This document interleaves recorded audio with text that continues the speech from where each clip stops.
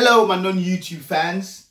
Yes, I just thought I'd make this video to explain to you guys. Yes, it's all my fault. If it happens to me in my life, it's my fault. I am the head of the Inspired by Sports media team. Unfortunately, we've not finished the English Schools video yet. Yes, I'm very grateful I've got my 500 subs. But to be honest with you, we actually have, literally have, another 110 hours to go until it is ready.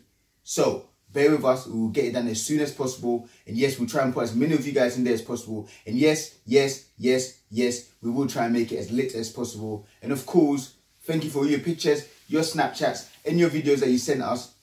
And your Instagram ads, we're going to add as many of that in there as possible, as many stills as possible.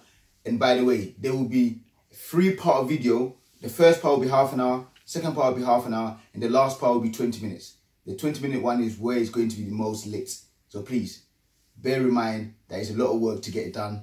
And please, please, please, when you do share any of the video, don't forget to tag us. Thank you.